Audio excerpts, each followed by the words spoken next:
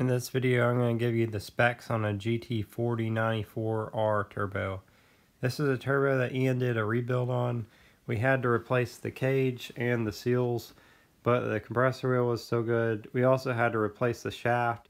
I will link to all the parts that we used in this build in case you're in need of those parts.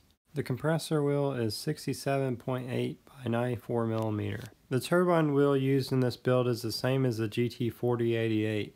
The measurements of that turbine is 68 millimeter by 77. This turbo is a little bit unique from other ball bearing turbos because it bolts the bolts go through the center section to bolt directly to the exhaust housing. So the only way to rotate or clock the bearing housing on the turbine housing is to unbolt the center housing or the bearing housing from the turbine housing, rotate it, then rebolt it back down. The turbine housing has about 10 bolts drilled into the side of it that are threaded so that you can unbolt the bearing housing and clock the bearing housing and rebolt the bearing housing back into the position that you need. This GT4094R turbo has a 96 AR turbine housing. The thing that sucks about these turbos is that there's not really a lot of great options for replacing the turbine housing to go with the larger or smaller turbine housing. The reason why that is is because of the different design that the bearing housing bolts to the turbine housing. This turbine housing is a divided T4 and this turbo is a ball bearing turbo. There you can see the restrictor pin that retains the cage. The other thing I don't like about this turbo is that it requires that you use a 2 bolt flange to bolt on your oil feed. I just don't like the idea of having a gasket there at the oil feed that could potentially leak and which if it's leaking then you could have the problem where the turbo is not getting enough oil to the bearing cage and if that happens then the whole turbo can get destroyed. Luckily in this case it just needed a cage and a shaft if it ever needs a bearing housing, that may be a difficult part for us to get a hold of.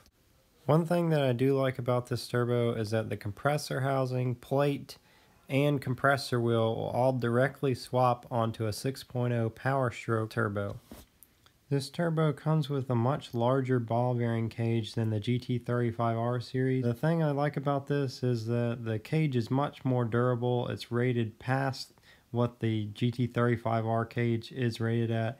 The GT35R cage comes apart around 40 pounds of boost. Usually people, or the most I've seen on the 35R cage is 900 horsepower, but that was really pushing it. I would not recommend running trying to make over 850 horsepower on the GT35R cage. The difference in the GT4088 and the GT94 Turbo is that the GT48 has a 63.5 by 88 millimeter compressor wheel. The GT4094 Turbo has a 67.8 by 94 millimeter compressor wheel. The GT37R Turbo is rated at 950 horsepower, so the GT40R series should be rated at between 850 to 1000 horsepower. The one thing that is kind of different is that for some reason the 4088R compressor wheel has a smaller inducer than the GT37R. The GT37R compressor wheel is 66.6 by 84 millimeter, and the GT37R turbine is 64.5 by 74 millimeter. If you need a turbo build like this done, you can always contact us at turbolabamerica at gmail.com.